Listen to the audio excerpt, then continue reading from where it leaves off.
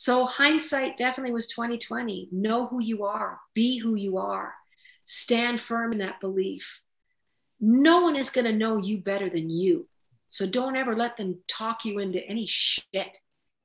He'll get the dirt and the scoop and the story, for he happens to be in the know. Just ask anybody who's had of show. Call me Adam.com.